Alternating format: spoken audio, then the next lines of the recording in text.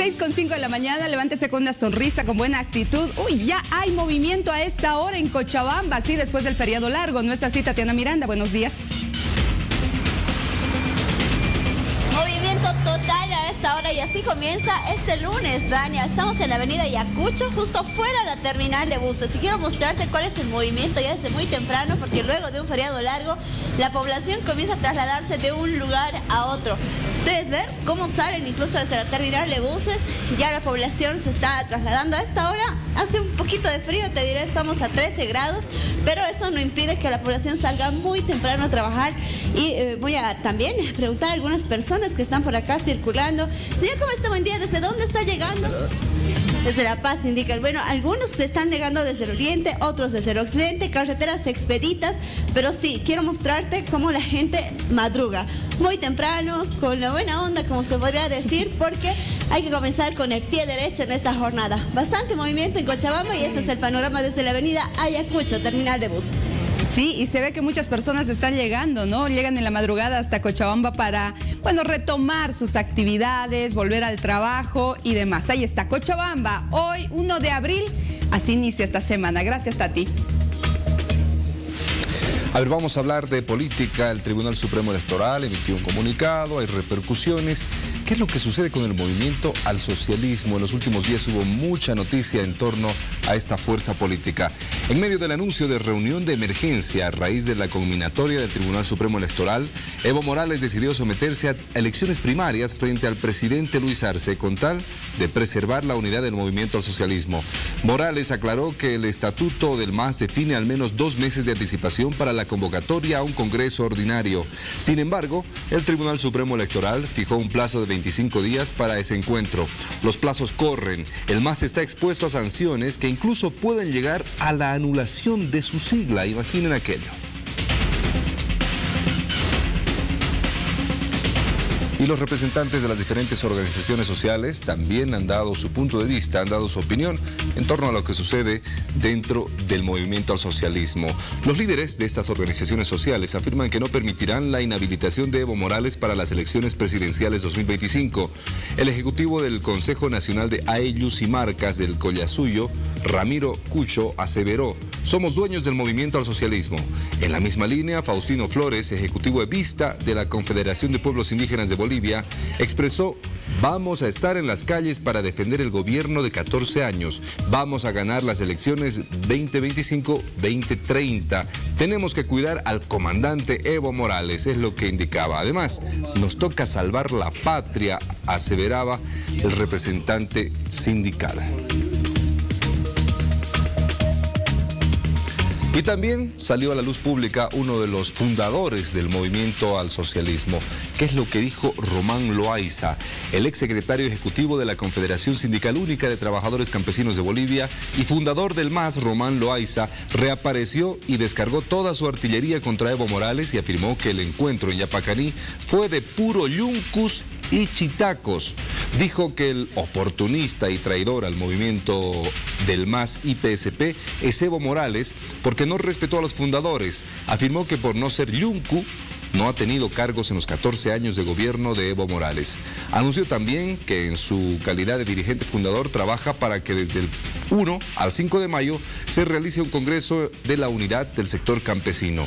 Dijo que nunca retrocederá en su propósito de preparar al MAS para las elecciones 2025, pero sin Evo Morales, porque está fuera de estatutos. Atención, hablemos ahora de Edgar Villegas, ingeniero de sistemas. ¿Qué pasó con él el 2019? Seguramente usted lo recuerda. Él alertó de un presunto fraude electoral en esas, en esas elecciones, ¿no? Ahora otra vez su nombre sale a la palestra. ¿Y esto por qué? Porque ha sido imputado, así es, imputado. La justicia ha determinado emitir cargos en su contra.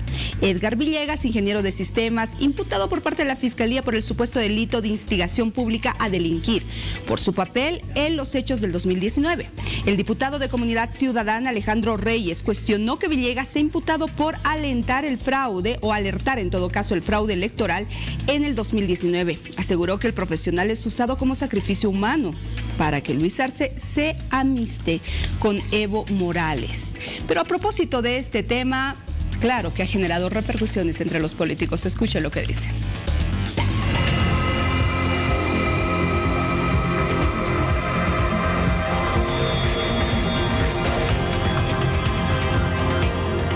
De una persecución política y una señal que quiere dar el gobierno que no van a permitir, en este caso en teoría, eh, ningún tipo de eh, estudio o cuestionamiento a lo que podría ser la elección que de por sí ya está cuestionada para el 2025 nosotros podemos indicar que la justicia está cumpliendo lo que es el proceso correspondiente. O sea, no se puede indicar si a una persona lo están haciendo una investigación o un proceso, no se puede decir que todo es político, sino aquí también tiene que haber el proceso correspondiente y el esclarecimiento de toda esa situación que se ha llevado el 2019. Todo nuestro apoyo al ingeniero Villegas, porque no solamente gracias a él y a su investigación en ese momento hemos podido determinar el fraude, sino que su investigación también está eh, basada en hechos reales y científicos y además tiene el apoyo de lo que ha sido el informe de la OEA. Lo que están buscando es utilizarlo como carne de cañón para empezar a amedrentar a los bolivianos porque ya se viene la elección del 2025.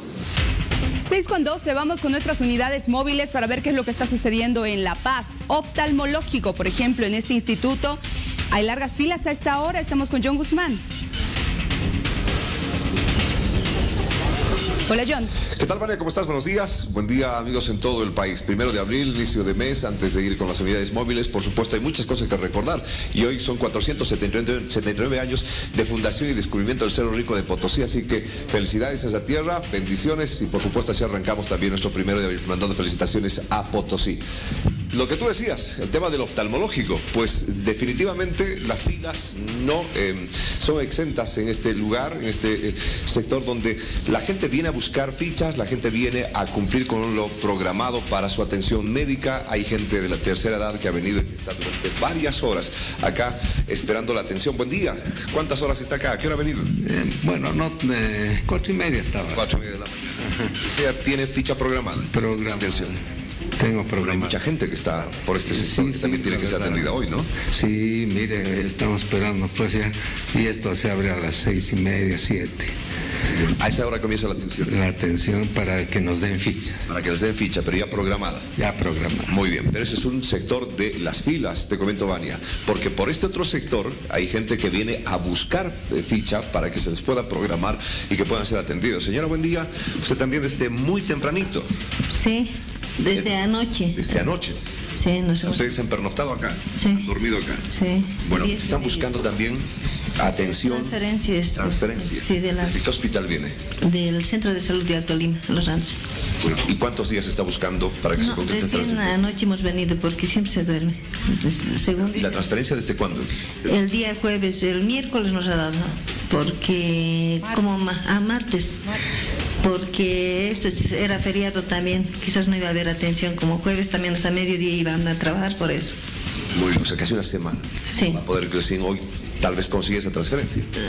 no, ya le han transferido de allí a acá. O sea, acá va a tratar de conseguir esa transferencia en una semana. Sí. Muy bien. Ahí está. Este es el panorama de en el oftalmológico, Vania. Pero no solamente es eso, porque allá al fondo te voy a mostrar que está el Hospital del Tórax y el panorama no es distinto, solamente que ellos pueden estar bajo techo y están aguardando también que poder conseguir atención médica, que es otra cantidad de gente que también es la que tiene necesidad de ser atendidos por el sector salud. Claro, son especialidades, Y lo mismo ocurre cuando quieres ir a una atención general, por ejemplo, un médico general. Las filas son el pan de cada día, lamentablemente en La Paz y también a nivel nacional. Y para el Instituto Oftalmológico, por lo menos tiene que hacer fila 24 horas para obtener una ficha. Imagínense qué pasa con aquellas personas que, por ejemplo, necesitan una cirugía, un tratamiento, pero ya se complica la situación y uno tiene que acceder, bueno, a una instancia privada, pagar definitivamente. Gracias, eh, John, por la información. Ahí estamos mostrándole en pantalla dividida lo que sucede en el Instituto Oftalmológico en La Paz, pero también lo que pasa en la ciudad del Alto. Víctor Hugo Rojas, estás en la ceja, ¿no? ¿Cómo estás, Vania? Sí, despertamos acá en la ceja, debajo de lo que es el puente de la autopista o el desvío hacia Río Seco, como se lo conoce a este popular y concurrido punto. Es el más cercano al peaje de la autopista y lo que estamos viendo es que despertamos con niebla Estamos en la ciudad del Alto, no es Londres, no es otro lugar donde se tiene niebla a esta hora de la mañana. Y bueno, esto es clara muestra de que estamos ya nosotros en lo que es el otoño. Astro, lo, astronómicamente, sí, astronómicamente estamos ya en el calendario que marca lo que es eh, las bajas temperaturas. Estamos iniciando con esto, entonces eh, ya hay que cuidar el abrigo, tener una bufanda, no está de más, se van a ir alejando las lluvias, que ya no ha estado lloviendo. Pero sí, las temperaturas van bajando. En este momento 6 grados centígrados Ah, en la mira. ceja del alto, pero la sensación térmica manda a 4 grados. Esto por la, precisamente por la niebla que está enmarcándose acá en el centro de la ciudad del Alto, en el corazón. Así que esto también se va a replicar en diferentes puntos del país. Pero hoy, en primero de mes, despertando en la ceja del Alto. Bien, mire, ya son las 6 con 16 minutos, pero parece de noche todavía, ¿no? Esto por, por lo que está nublado, por lo que está haciendo frío. Es decir, Víctor Hugo, nada más como apunte, lo que nos quieres decir es que de, a partir de, de esta jornada va a empezar el frío o las temperaturas van a bajar. Bueno, ya empezó. El Ah, ya empezó. pasado Bien. 23 de marzo es que se marca, el 21 de marzo más bien. Oh. Hay que recordarlo por el 21 de septiembre, por el 21 de junio, que 21 de junio va a ser invierno. Entonces, Claro. el equinoccio de eh, otoño ha sido el 21 de marzo y ya empieza con esto el cambio de temperatura. Estamos en otoño prácticamente tres meses. Bien. Hasta el 21 de junio, que va a ser el solsticio de invierno, donde nos va a marcar ya el inicio del invierno. Entonces hay que Bueno. recordarlo un poquito con, este, con esta cifra. Bueno, ya eh, va a ser frío, bajan las temperaturas y los arbolitos también van a ir eh, soltando sus hojas. Pareces del Cenami, ¿no, Víctor Hugo? Bien informado de todo lo que va a pasar en estos días. excelente, excelente el dato que nos has brindado. Mire, en pleno puente, en plena eh, pasarela, prácticamente uno puede desayunar. Algo delicioso, es un gustito aparte que uno se puede dar en la ciudad del Alto, en la ceja. Gracias, Víctor Hugo Rojas. Hay más. Vamos a saludar vía Zoom al diputado de Comunidad Ciudadana, Pablo Arizaga, para tocar algunos temas que están siendo noticia, más allá, por supuesto, de las elecciones judiciales y este cronograma que se viene realizando. Diputado, ¿cómo está? Buenos días, Gerardo Serrano lo saluda. Empezamos la etapa de revisión y con esto estaríamos culminando ya cualquier posibilidad para una habilitación o una confirmación de inhabilitación, ¿verdad? ¿Cómo está? Buenos días. Sí, bueno, muy buenos días Gerardo, qué gusto saludarte a la distancia. Evidentemente ya estamos concluyendo esta primera fase administrativa, donde prácticamente vamos a ver la cantidad eh, de habilitados e inhabilitados que tenemos en este proceso de elecciones judiciales. Y ha sido interesante porque creo que como nunca se ha podido tener eh, un espacio muy amplio para que los postulantes puedan perseguir su habilitación o en su defecto los ciudadanos hayan podido hacer valer algún documento o alguna información que inhabilite a quienes circunstancialmente fueron habilitados. Entonces es un proceso administrativo que, que concluirá esta semana. Nosotros ya mañana empezamos a, a revisar los papeles eh, referentes a los que son los recursos de revisión que han sido presentados del trabajo que ha hecho la Comisión eh, de Justicia Plural, ¿no? Eh, y lo mismo pasará en el caso de la Comisión de Justicia que revisará el trabajo que hemos hecho nosotros en la Comisión de Constitución. Pero lo importante es que vamos a tener una transparencia total para que no se diga que ha habido alguna precisión personal de algún legislador o de la misma comisión al valorar los expedientes de cada uno de los postulantes, Gerardo. Bien, a ver, una, eh, una primera etapa de presentación de documentos, revisión, inhabilitaciones, impugnaciones, y en esta revisión es una especie de momento para que el candidato pueda apelar esa inhabilitación. Em, ¿Con cuántos candidatos inhabilitados o habilitados en todo caso estamos ingresando a esta etapa, diputado, a esta etapa final? Bueno, según los números que hemos tenido, Gerardo, de, de a la Comisión de Constitución y, bueno, lo propio en la Comisión Mixta de Justicia, eh, el porcentaje en total que ronda son el, el 40% que se tiene de los postulantes, ¿no? Muchos decían que era un porcentaje eh, inferior, pero evidentemente de eso se trata un proceso de preselección. Si no, para eso no tendría sentido el de poder realizar este examen exhaustivo de los documentos y, antecedentes que pueden dar pauta de quiénes son los profesionales más eh, aptos que van a poder cursar esta competencia profesional. Sin embargo, este porcentaje de este 40 todavía no es definitivo, por eso es que nosotros desde un principio lo hemos señalado que hasta que no tengamos concluido esta etapa administrativa, pues sería insulto es decir, esto, esta es la cantidad oficial de habilitados e inhabilitados, o este es el riesgo, o este es el problema que se tiene en el proceso de elecciones judiciales, ¿no? Nosotros somos más bien más responsables, somos cautos, tenemos un porcentaje provisional, eh, Gerardo, pero esa no es una prueba eh, idónea o suficiente para poder confirmar la cantidad que se tiene este. Bien, perfecto. Después de, esta etapa vamos a conocer exactamente cuántos candidatos entran en carrera y bueno, estaremos también atentos a los posibles, a las posibles solicitudes de amparo constitucional de algunos que sigan pensando que se han vulnerado sus derechos en torno a este proceso. Eh, antes de, despedirlo, diputado, hay un tema también que ha generado mucha repercusión el fin de semana. La imputación al ingeniero Edgar Villegas por los hechos, por los sucesos del 2019. ¿Cuál es la opinión que le merece aquello? Mira, Gerardo, no es, no es extraño que en la judicatura boliviana tengas fiscales que siempre han colocado como una especie de bomba de ensayo el tiempo de la investigación. Eh, mira, es para una cuestión de entender en el campo jurídico. Eh, ¿Cómo es posible que desde el 2019 hasta el 2024, porque esos son los años que han transcurrido desde esos hechos, eh, Gerardo, y eso es un tema jurídico, no político, ¿cómo es posible que el fiscal explique que se tardó más de seis meses en una investigación que debería haber arrojado resultados si es que hubieran tenido todos los elementos suficientes para poder imputar a una persona. Definitivamente, esto demuestra, Gerardo, la forzada ejecución y aplicación que quieren hacer de la ley, porque no les cae bien el señor Villegas, ¿no? Y obviamente porque le están haciendo caso al que está aquí en al, cabeza del Ministerio Público, que en este caso es el fiscal general. Se maneja así, lamentablemente, la judicatura boliviana, y lo único que podemos decir es, darle fuerzas y ánimos al ingeniero Villegas, quien ha cumplido un trabajo estrictamente técnico, más allá de su apreciación jurídica, porque él no está ocupando ningún espacio político en este momento, pero que todo tiene su tiempo. Eh, el fiscal general este año cumple mandato, eh, Gerardo, así que tiene que empezar pensando él, como toda esa gente que ha venido operando, jugando tanto con el gobierno de Áñez, con el gobierno de Arce, o en su momento apoyando al gobierno de Evo Morales, que todo tiene fecha de vencimiento y ojalá que cuando llegue el momento que tengan que rendir cuentas ellos, ojalá que realmente no actúen como verdugos como ellos lo están haciendo con gente inocente como es el señor eh, Villegas. Es claro para nosotros que nadie puede ocultar la verdad y lo que ha pasado con el ingeniero Villegas que es un abuso. Después de, tantos años eh, forzadamente es algo que realmente no se entiende, Gerardo. Y vamos a seguir analizando y escuchando las repercusiones a lo largo de estos días Diputado, muchas gracias por su tiempo. Que tenga un buen día.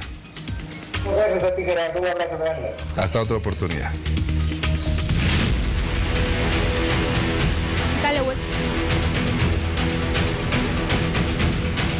6.35 de la mañana de inmediato con nuestra unidad móvil. Información de último momento en la terminal metropolitana. ¿Qué es lo que sucede? Eh, por favor, Víctor Hugo Rojas, cuando nos anuncia de que ha habido enfrentamientos incluso en este lugar.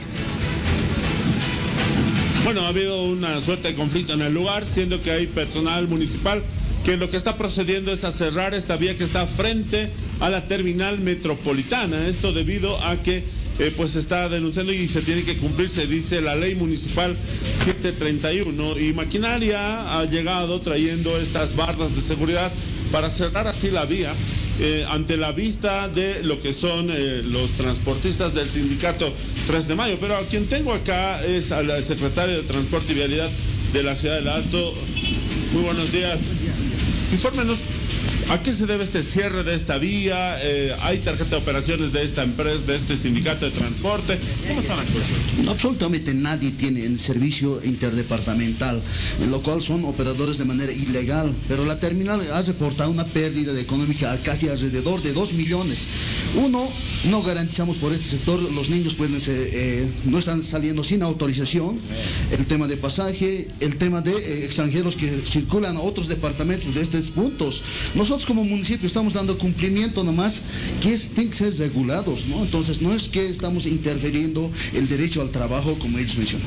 Ahora, están cerrando la vía. ¿Esto dará garantías, dará control del traslado de niños, eh, la tarjeta de operaciones al no contar cerrar esta vía también lo permite. ¿Cómo está la cosa? Tenemos semejante infraestructura, no debían operar, como en nuestro departamento se opera del terminal interdepartamental y no así de unas eh, de las calles o adyacentes salir de las eh, dando inseguridad ciudadana. Ahora, ellos podrían ingresar, deberían ingresar a la terminal metropolitana. Eso ya se ve con el administrador de terminal. Nosotros como movilidad urbana, todo lo que se, todo lo que se regula en lo que es fuera de la eh, terminal metropolitana. No deberían estar aquí entonces estos. Ninguno, y de la misma manera que rompemos van a levantar y se va a cerrar igual de la arriba igual. De la misma manera otros operadores, de la misma manera se va a poner y en la altura de la rotonda igual los New Jerseys. Ahí está, es parte del informe de, de lo que es el municipio, pero vamos a buscar hablar también con los del sindicato. Si hay algún representante, por favor, veo a varios de ellos eh, de la cooperativa de transporte. ¿Quién me puede colaborar, por favor? Señor, buen día. Quería hablar con nosotros. ¿Qué es lo que está pasando con esta figura? Dice que no existe una tarjeta de operaciones. Primeramente, buenos días, señores de la prensa. A ver, eh, nosotros ya le hemos mostrado al don Reinaldo Cusi que hace rato ha hablado nosotros legalmente. Ahí está nuestra tarjeta de operaciones. Ahí está nuestra tarjeta de operación. Tenemos no es toda la documentación de la administración del viceministerio de transporte, que estamos regulados por una ley 356 ya estamos regulados en eso y tenemos, ya les ha mostrado en, esa, a ese dirigente que es el Reinaldo Cusi, ya le hemos mostrado toda la documentación que nosotros somos legalmente, por eso es que nosotros peleamos en este, en este lugar. Pero ellos no entienden que nosotros somos ilegales, nos dicen. También esta, este terminal tampoco está autorizado por el ATT. Y con ese documento, digamos que está, nosotros tenemos una, eh, una, una notificación del ATT, porque nosotros tenemos esa ley donde nosotros podemos caminar a todo lado, ¿ya? Porque él, como, como alcaldía, él debía estar organizando todo a nivel municipal, no debía meterse a departamental, ¿no es cierto? Porque estás viendo, en las calles están todas las guaches, todos los agujeros. En las calles están allá en los tramiajes de todos los sindicatos y ellos no dicen eso nada, pero nosotros somos legalmente, eh, tenemos documentos y nos, nos vienen a molestar a nosotros. ¿Por qué no ingresar a la terminal metropolitana? Porque el ATT no nos permite. Eso es, por eso es el que nosotros eh, no, no, no queremos sobresalir del marco que tenemos nosotros. No van a poder ingresar a la avenida Laislao Cabrera, van a tener que buscar a mm, mira, vamos a ver cómo lo vamos a hacer, nuestra documentación jurídicamente, dónde lo vamos a eh, darle senos con estas cosas que nos están engrampando, que nos están bloqueando la calle, todo, nosotros vamos a exigir nuestro amparo constitucional. Le agradecemos, ahí está, les hemos brindado la palabra también a los de la cooperativa de transporte, eh, La realidad es que se ha cerrado estas vías. Eso. Y que creo que hay una instancia mayor que también debería eh, trabajar en conjunto con la terminal metropolitana. Te escucho, Vania. Víctor Hugo, ahora para que la gente pueda transitar en este lugar, eh, ¿qué vías están cerradas? ¿Hay rutas alternas? ¿O no va a perjudicar, por favor?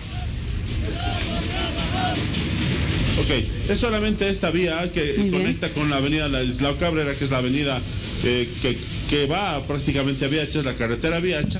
Se ha cerrado esta calle acá. Es la, una de las calles que se ha cerrado, que precisamente es donde eh, pues los eh, vehículos de Transur 3 de Mayo paran acá esta cooperativa de transporte y que nos mostraban, tienen esta tarjeta de operaciones pero lo que ya no van a poder hacer es ingresar inmediatamente a la vía para iniciar su, viaje.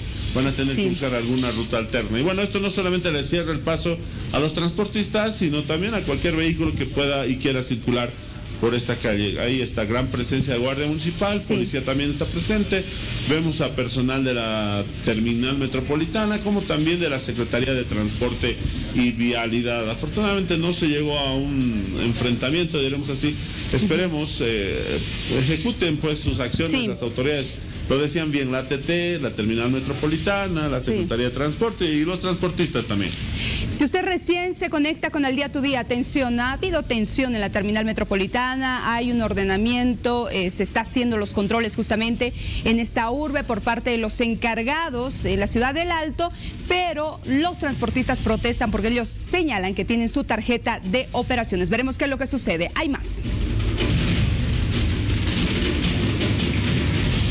Y atención, a propósito, vamos a hablar acerca de los operativos que ha realizado el Viceministerio de Defensa de Usuarios y Consumidores con relación a la carne de pescado. Vea, por favor. Por ejemplo, se han comisado como 1.500 kilos de pescado. Eh, intervenidos por el SENASAC, por la aduana, por la Intendencia Municipal, en Santa Cruz, en La Paz, en el Alto, se han encontrado pescados que entraron por contrabando y otros pescados en mal estado. Por lo tanto, de acuerdo a la norma, esos productos deben ser destruidos, sacados del mercado eh, para evitar de que se pueda afectar a los consumidores. Casi como regla general, que lamentablemente en algunos mercados, especialmente mercados populares, las caseras siguen utilizando la romana, siguen utilizando la balanza pata de gallo. Esas tres medidas de, peso por leyes municipales y por un decreto supremo de este año ya eh, deberían eh, salir del mercado e incorporar las balanzas electrónicas, ¿no? Para que el peso sea eh, justo y el precio sea correcto. Y hablamos de otros operativos, pero de otro tipo en el mercado Lanza. ¿De qué se trata? John Guzmán, ahí estamos viendo a gente que está eh, aprendida o arrestada en este caso, algunos objetos. Adelante, por favor, con todos los detalles. Cuchillos, tijeras, corta uñas, eh, incluso consumidores de diferentes eh, estupefacientes, celulares, no sabemos si es de su propiedad o son robados. Nos va a explicar el coronel eh, Cortés, comandante departamental de la policía. 23 personas arrestadas, 10 extranjeros, coronel. Efectivamente, el comando departamental de policías, dando cumplimiento a la orden de operaciones de Semana Santa, tomando en cuenta que son instrucciones del Comando General y del Ministerio de Gobierno, hemos desplegado personal de servicio en diferentes terminales de buses y también lugares donde eh, se constituyen los pasajeros para eh, abordar los vehículos a su destino, a su domicilio.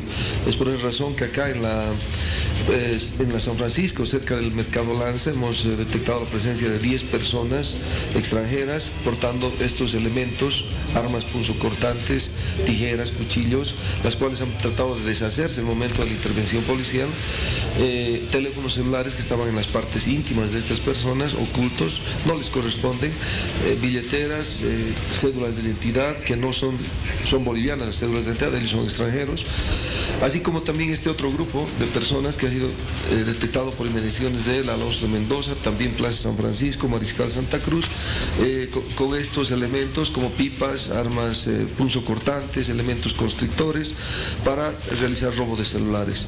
Y un tercer grupo que estaba en mediaciones de la terminal Minasa realizando acciones preparatorias para cometer delitos, tomando en cuenta que en la madrugada llega bastante eh, pasajero de la zona del norte de La Paz. Coronel, todas estas personas que están acá de algún modo tienen antecedentes policiales. Sí, al menos tres tienen antecedentes penales de los nacionales, de los extranjeros no tenemos nada, pero sí estaban en, una actitud totalmente delincuencial, ocultando sus, evidencias.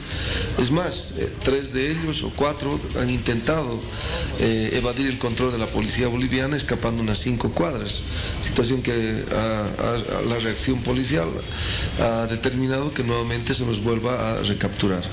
Perfecto, Gerardo, tú puedes observar.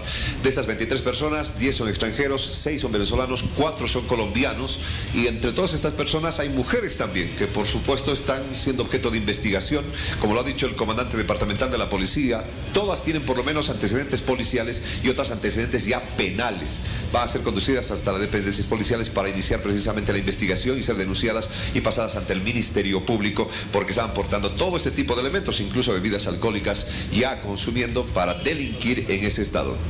Claro, y veíamos precisamente a algunas de las personas que están ahí contra la pared con, actitudes que, podrían ser producto de los estupefacientes, del consumo de bebidas alcohólicas. Había un hombre de rojo que estaba golpeando la, la pared con los puños. Bueno, un importante operativo que realiza la policía en inmediaciones del mercado Lanza. Nos daba el informe completo el comandante departamental de la policía, lo que ha significado también el operativo en otros sectores de la ciudad. Ahí estamos viendo a todas las personas arrestadas tras este operativo policial. Ahí están los sujetos que están reflejando los modales que casi, casi ni llegan a tener. Hasta otro momento, John Guzmán, hasta otro momento.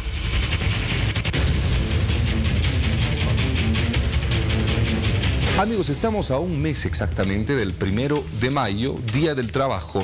La Central Obrera Boliviana ya ha presentado su pliego petitorio al gobierno y a partir de esta semana se van a volver a retomar las mesas de trabajo con la Central Obrera y el gobierno como protagonistas. Esto para analizar el incremento salarial y otras demandas. A inicios de marzo, el gobierno nacional y la COP instalaron mesas técnicas de trabajo para tratar proyectos normativos de defensa de los trabajadores del país en el marco del pliego petitorio presentado. La ministra de Trabajo, Verónica Navia, adelantó que la comisión ya está en el cierre del trabajo y explicó que se trata de cubrir todas las demandas de los trabajadores. Entre ellas está la estabilidad laboral.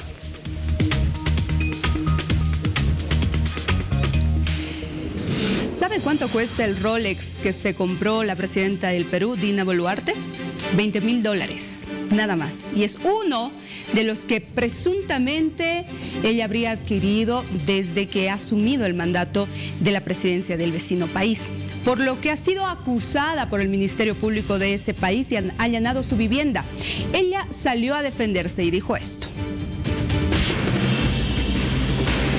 Reaccionó al allanamiento Entré a Palacio de Gobierno con las manos limpias y así me retiraré. Ella dice que brindó todas las facilidades para la diligencia solicitada por la Fiscalía de la Nación. Esta mujer presidente no está detrás de lobbies o negociados. Y quien vendió la historia de los relojes lo sabe porque me conoce. La presidenta de Perú, Dina Boluarte, rechazó el allanamiento de la Fiscalía a su vivienda y despacho presidencial y denunció un ataque y acoso sistemático en medio de las investigaciones que enfrenta por presunto enriquecimiento ilícito. Boluarte, quien está en el centro de un escándalo por unos relojes Rolex que no habría declarado como parte de su patrimonio. Por esta razón, la Fiscalía le abrió una investigación preliminar a raíz de las revelaciones sobre las joyas hechas por la prensa. Y respetuosa de la autonomía de las instituciones, estaré asistiendo cuanto antes ante la Fiscalía a esclarecer el hecho sobre los relojes. En caso de que la Fiscalía la acuse por enriquecimiento ilícito, Boluarte solo respondería en un eventual juicio después de julio del 2026, cuando termine su mandato según fija la Constitución. No al manoseo de la vacancia o adelanto de elecciones. El escándalo, sin embargo, puede derivar en un pedido de vacancia o destitución de Boluarte desde el Congreso, alegando, escuche bien, incapacidad moral. Amigos, vamos a saludar al diputado del Movimiento al Socialismo, Juan José Jauregui, para seguir analizando y hablando de esta etapa que iniciamos precisamente de revisiones en la preselección de candidatos a elecciones judiciales. Diputado, ¿cómo está? Buenos días, Gerardo lo saluda. Hoy iniciamos esta nueva etapa, la última para tener ya una cifra exacta de los eh, candidatos habilitados. Buenos días. ¿Cómo está Gerardo? Muy buenos días. Eh, por intermedio de su medio de comunicación, muy buenos días a los gentiles televidentes. Es como usted señala, el, día de hoy concluye el, el plazo para la presentación del recurso de revisión. Un nuevo recurso que se ha incorporado a partir de la ley 1549, porque en realidad a partir del proceso de la gestión 2011-2017 de renovación de estas altas autoridades de la Administración de Justicia, simplemente en aquellas oportunidades se contemplaba el recurso de impugnación, eh, siendo que existe la sentencia constitucional 060 de la gestión 2023, en donde más allá de señalar la necesidad de que se tomen decisiones en todas las fases del proceso de preselección por dos tercios de los miembros presentes, no solamente en el Pleno, sino también en las comisiones, también se incorpora, un otro elemento, un nuevo requerimiento que es garantizar la doble instancia dentro de los procesos de reclamo cuando se toman decisiones en las comisiones mixtas con relación a la participación de uno u otro postulante y es en este sentido que a partir de la ley 1549 se incorpora el recurso de revisión.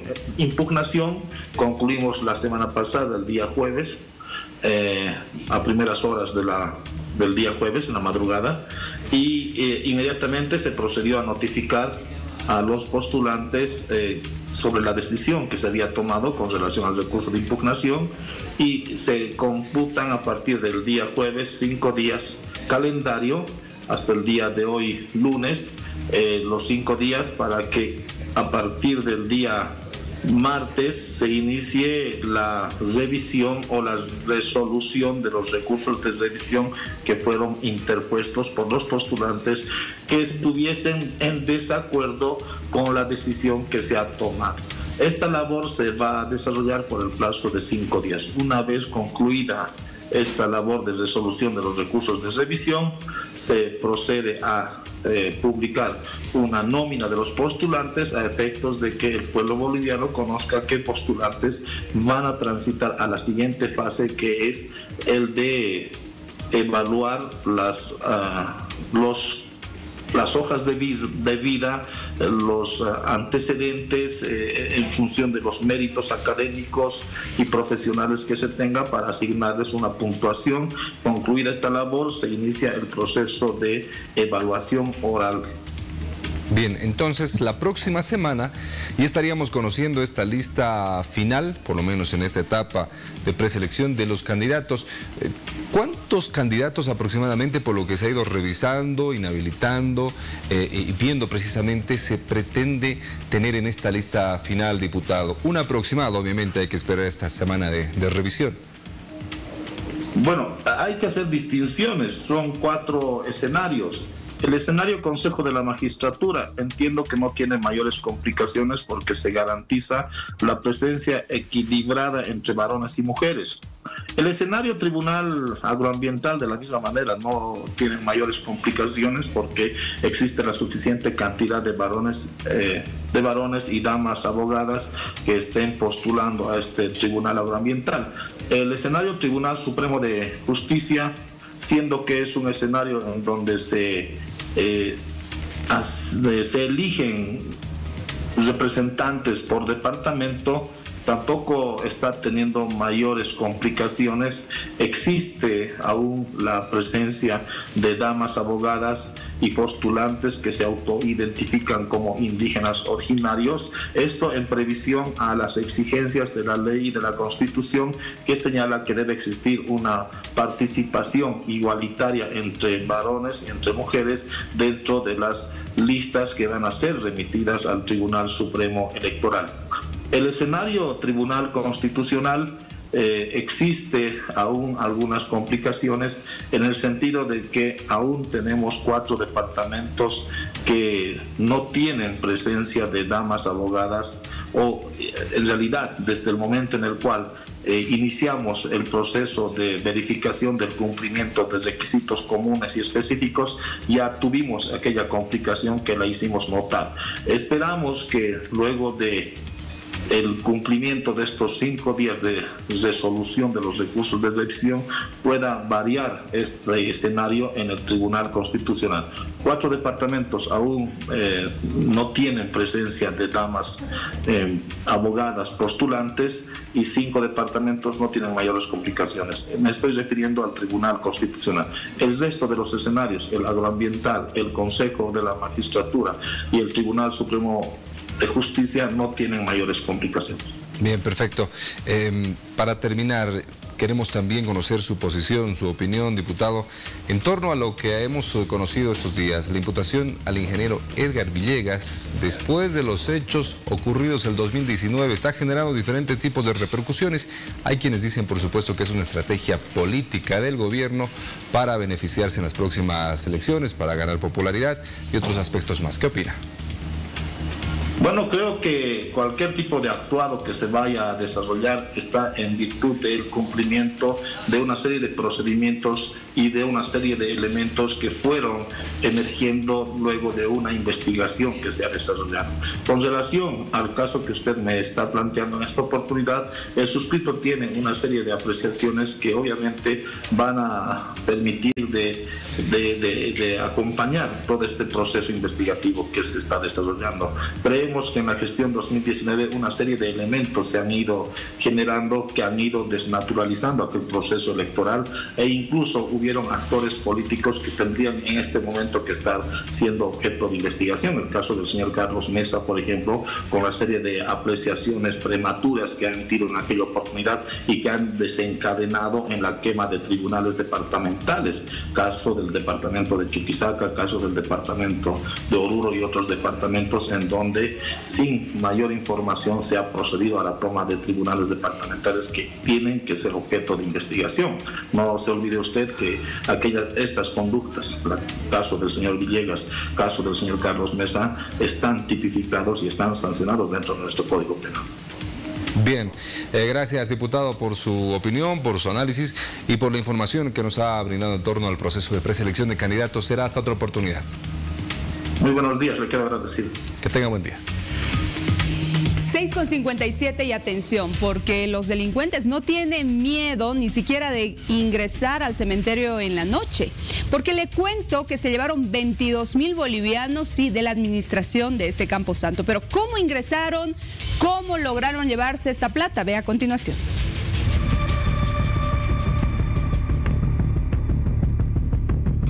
Han destruido todo lo que es el sistema de cámaras. han ingresado por el techo, como usted ha podido ver, han utilizado la moto que es de la unidad como escalera, está la huella todavía ahí. Cerca de las 7 de la mañana entró la funcionaria que llega a hacer su supervisión hoy domingo de Pascua y se encontró con esta ingrata noticia. He abierto la puerta y eh, ahí he encontrado que todo estaba forzado. ¿Cómo ha encontrado? ¿Qué se ha percatado? Estaba un combo, una llave crecen, los candados forzados y me bajé a buscar a los guardias para que vengan, a, porque me dio miedo entrar a la oficina. Nunca ha habido algún robo o algo aquí. Subimos, eh, entramos a inspeccionar con mi camarada y de ahí nada, o sea, todo está cesado, la parte de arriba que son depósitos, está cesado, está intacto, solo lo único que se robaron fue el dinero y hurgaron alguno que otro documento.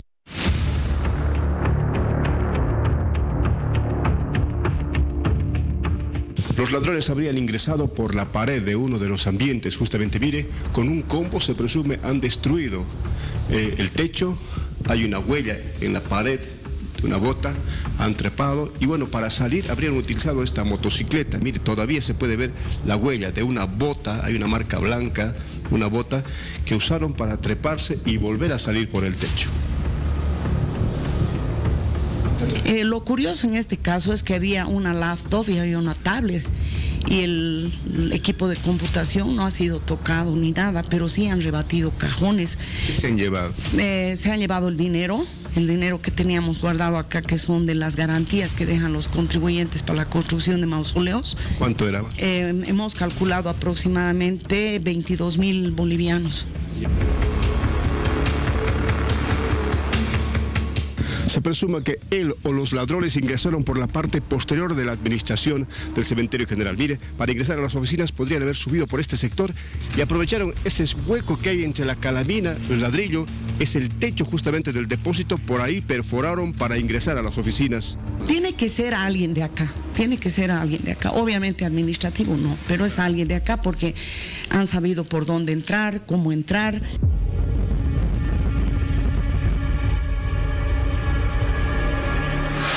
Claro, aprovecharon el feriado largo estos delincuentes, pero algo que también llama la atención es que em, cortaron el sistema de videovigilancia para no ser captados, ¿no? Eso igual es algo llamativo. Es alguien que ya conocía este lugar, dice eh, la responsable justamente de este Campo Santo. Tati, ¿hay alguna em, actualización en torno a la investigación? Me encuentro con el secretario de Gobernabilidad en la alcaldía y por supuesto ellos preocupados por lo que ocurrió, más todavía en la condición en que se ha dado este robo. ¿Qué avances se tiene ya en la situación luego de haber conocido este robo? Bien, eh, los investigadores de la Fuerza Especial de Lucha contra el Crimen el día de ayer han tomado sus exámenes de laboratorio correspondiente y el día de hoy en horas de la mañana se van a constituir nuevamente al cementerio para prestar las declaraciones del personal administrativo del cementerio porque tendríamos que saber quiénes tenían el acceso a esta información, es decir, quiénes conocían sobre el resguardo de estos 22 mil bolivianos, ¿cierto? Quienes conocían sobre el panel de seguridad que resguarda el tema tema del almacenamiento de las cámaras. Es un trabajo que lo va a realizar de manera específica la Policía Nacional. Nosotros hasta el día de hoy estamos a la espera de que la administradora del cementerio nos presente un informe pormenorizado precisamente para conocer sobre estos recursos y su origen. Saben que el dinero son de garantías de los usuarios. ¿Qué va a pasar con este dinero? Porque hay ya incluso reclamos de parte de los usuarios.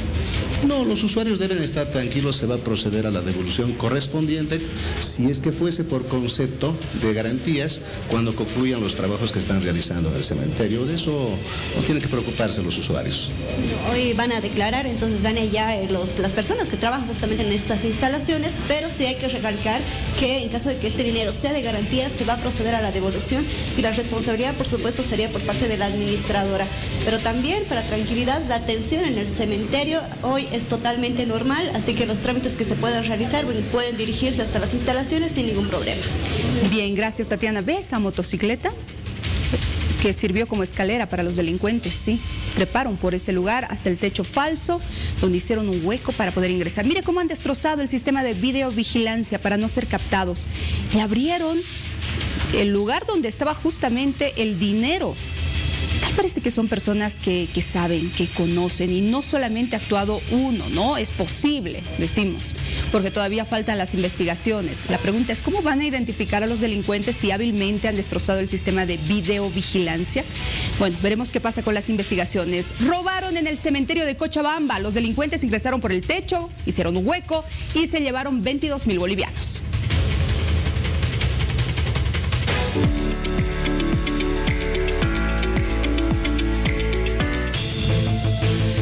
¿Dónde está Odalis? Ella tiene 28 años. Ha desaparecido cuando se dirigía o se trasladó en todo caso con su novio hasta Yolosita aprovechando este feriado. Tuvo una discusión con su pareja y ella se fue. Ahora su novio está desesperado, ha puesto la denuncia ante la FELCE para poder encontrarla. Pero es muy llamativo este caso, sí, sin duda, porque hasta el momento Dalis no da ninguna señal. Ella tiene, reiteramos, 28 años de edad. Si usted la ha visto, por favor, reporte inmediato a la policía. La mujer vestía una blusa floreada, corto jeans, zapatillas de color blanco y lentes de sol color rosado. Ayúdenos a encontrar a Odalis. Usted la está viendo en pantallas, por favor.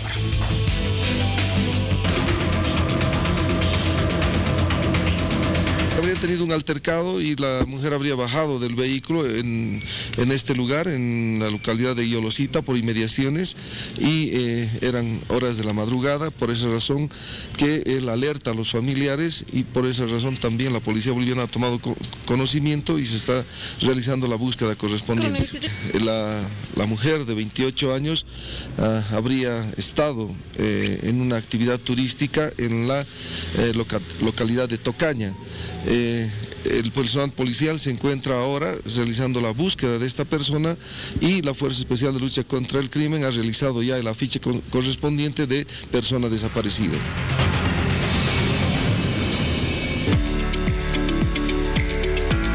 Definitivamente no, pero el trabajo que se está haciendo es óptimo, esto por la desinfección en eh, los buses. ¿Y esto a raíz de qué? Un insecto, un insecto que apareció y una usuaria que denunció esto. Chulupis en, plena, en pleno bus. Ahora se está realizando este trabajo, John. Así es correcto, Vania, se está realizando este trabajo en una de las eh, flotas en realidad que habría sido denunciada y se está realizando en realidad el fumigado a nivel general. Y te voy a contar lo que hace un ratito una pasajera también habló con nosotros. Entre tanto, vamos a hablar precisamente con el director de la terminal de buses, eh, ingeniero. Se está procediendo a esta fumigación ante la denuncia de nuestros reporteros al día que confían en la red Bolivisión y dicen esto está pasando en los buses que van de forma interdepartamental. Claro, claro que sí, no solamente los usuarios confían en la red, en la red Bolivisión, sino también nosotros como terminal. Y obviamente la denuncia que hemos recibido, hemos tomado la medida de hacer la fumigación correspondiente. Vamos a implementar una empresa que va a hacer la fumigación cada vez que llega un bus y cada vez que sale un bus, ¿no? Vamos a hacer un programa y obviamente lo, las flotas van a tener que hacer el pago correspondiente, todavía no se ha definido el monto. Sin embargo, queremos evitar este tipo de cosas, como la denuncia de una pasajera de hace ratos que ha denunciado que ha, habido chulupis en, un, bus y en ese caso nosotros vamos a hacer la fumigación correspondiente a todos los buses. Ese es el trabajo que vamos a realizar. Bueno, no solamente es el interior, sino también eh, las llantas, porque es un lugar por donde se podía subir, en busca de espacios, los chulupis, el lugar de los equipajes también donde se va a fumigar. Y te decía, Vania, hace un ratito había una pasajera que bajó de otro bus, de otra empresa, y se acercaba directo a nosotros y también al director. Y decía, hemos encontrado chulupis en la ruta Cochabamba-La Paz. Sí, eso es lo que nos ha referido. Y bueno, pues eh, tenemos que tomar medidas de acción, tenemos que fumigar los buses, tenemos que garantizar que las empresas fumiguen los buses. Por ejemplo, el chofer que te, mencionaba, que ellos hacen la fumigación una vez al, al mes, pero creo que debería ser recurrente esto, ¿no? O sea, ni bien llegue el bus, hay que hacer la fumigación correspondiente para evitar justamente este tipo de roedores o insectos en los buses. Perfecto, vamos a hablar un ratito con el conductor. Usted es dueño o en todo caso maneja este bus y me decía que sí hace fumigación. Sí, cada mes hacemos fumigación nosotros de la unidad, en el garaje que tenemos y por eso casi no hay aquí. No es cierto. ¿Será suficiente pero una vez al mes? Sí, porque el químico que compramos es más fuerte y, y eso es suficiente. Pero tal parece que en algunos casos no funciona porque estamos viendo varias denuncias y constantes. Ah, sí, pues algunos no funigan. Como nosotros funigamos, siempre limpiamos todo y limpiecito el bus Bueno, Vania, tendrá que tomarse la recomendación del director de fumigar constantemente porque te repito, hace minutos nada más, será unos cinco minutos que una pasajera nos decía hay chulupis en este bus y vinimos desde Cochabamba así. Así que la denuncia no es única, son varias y tendrá que hacerse cumplir gracias al director que se cumpla con la fumigación en todos y cada uno de los buses porque uno ya tiene temor de ingresar a este tipo de buses interdepartamentales ante las denuncias de nuestros reporteros al día. Así es, justamente una reportera al día hizo la denuncia, nos envió esta imagen porque ella estaba durmiendo y de repente se asusta porque siente algo y era un chulupi, imagínense, ay, bueno, no era uno, dice, eran varios, varios, varios, ¿no? Ahora, eh, esta fumigación tiene que ser permanente por la cantidad de pasajeros que suben, que están, por las infecciones respiratorias, por estos insectos, por lo que puede trasladarse de un lugar al otro, hay que tomar en cuenta, mucha gente lleva alimentos, por ejemplo, así que hay que hacer la fumigación, no solo por la denuncia, sino permanentemente, por favor. Gracias, y eso por higiene es muy importante. Gracias a nuestros reporteros al día que siempre nos alertan de estas situaciones, transmitimos la denuncia y también las autoridades actúan tal el caso de la administración de la terminal de buses de La Paz.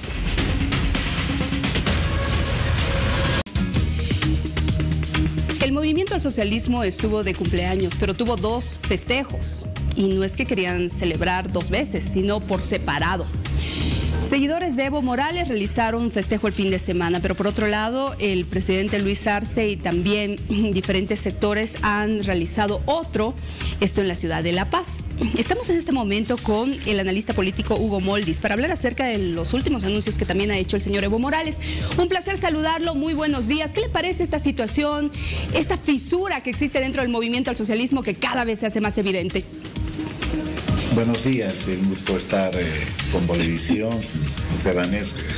eh, bueno, como usted dice, ya es parte de la noticia cotidiana, eh, pero yo diría que han surgido algunos elementos que a pesar de las declaraciones fuertes, abren una ventana de oportunidad para que el movimiento al socialismo resuelva sus problemas si es que obviamente se cumple con algunos requisitos.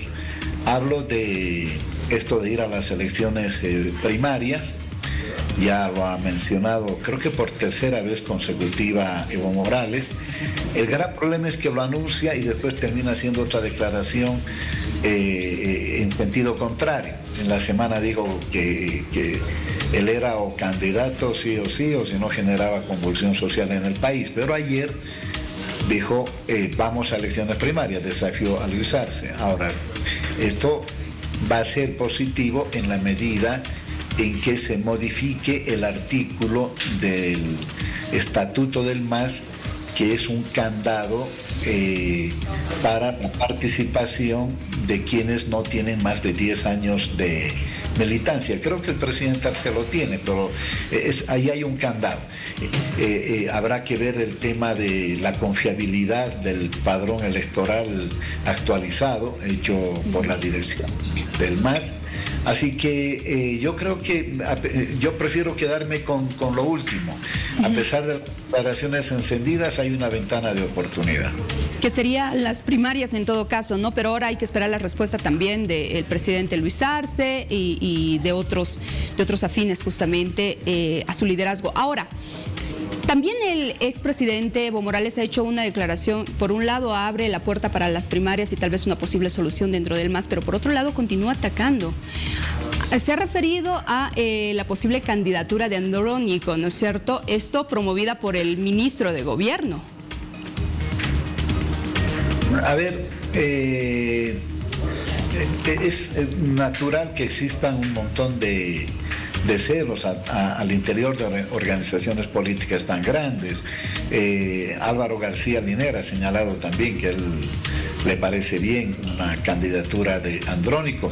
Por eso creo que eh, las elecciones primarias van más allá de Evo versus Lucho o Lucho versus Evo. Creo que hay que, con una perspectiva mucho más amplia, eh, eh, puede ser un canal eh, de resolución democrática que finalmente ponga fin o por lo menos readecue los términos de una relación positiva al interior del movimiento al socialismo. Ahora, en esa campaña, si se habilitan tres, cuatro binomios, obviamente va a ser una campaña dura, como es toda campaña también interna, que habrá que definir, sin embargo, porque elecciones primarias cerradas o elecciones primarias abiertas, ese es un debate que, recién eh, comienza eh, dentro del país. Ahora, eh, el expresidente ha señalado de que la intención de promover a Andrónico como candidato es para debilitarlo a él, perjudicarlo políticamente. ¿Andrónico Rodríguez le hace, le hizo siempre sombra al expresidente? ¿O qué opina usted en su análisis, por favor?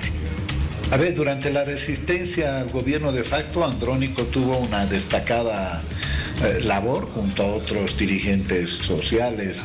Eh, eh, y, pues como cualquier político tiene todo el derecho, ¿no?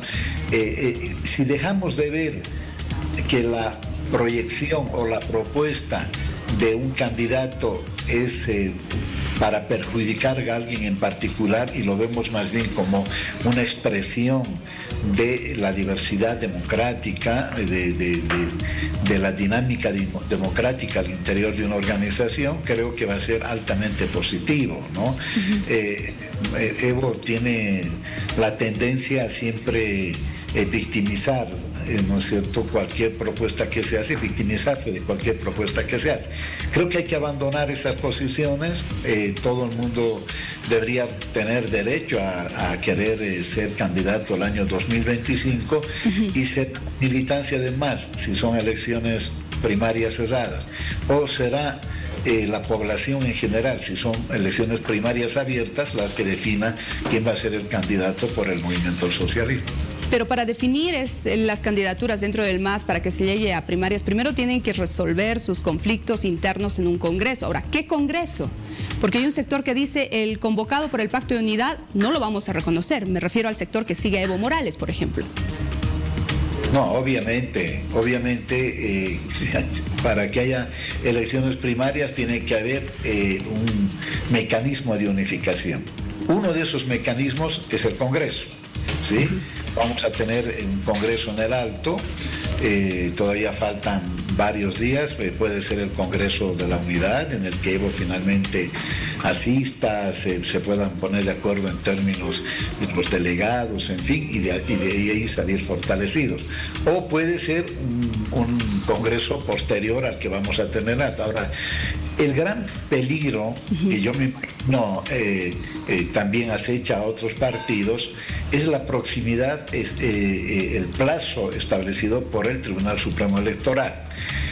Eh, como son varios los partidos que hasta ahora no terminan de regularizar su, su registro ante el organismo, yo me imagino que se va a ampliar unos dos o tres meses por última vez, porque de lo contrario varía todo el cronograma electoral. Plazo que tendría el MAS para llevar adelante un Congreso de unidad en los términos de reconocer que hay posiciones distintas, que hay facciones. El Partido de los Trabajadores del Trabajo y del Brasil admite corrientes a, su interior y, creo que no sería malo admitir que dentro del MAS hay una corriente medista, arcista, eh, eh, todo parece indicar también de andrónico y quizás otras más, ¿no? Veremos qué es lo que sucede, este tema político que tiene ocupados a muchos, ¿no? Eh, por la tensión también que se genera las advertencias también que hay de incluso nuevos bloqueos, si es que no permiten que Evo Morales sea candidato. Reitero, veremos qué es lo que sucede. Don Hugo, gracias por haber conversado con nosotros. Bueno, muchas gracias. Un placer. Buenos días. Continuamos.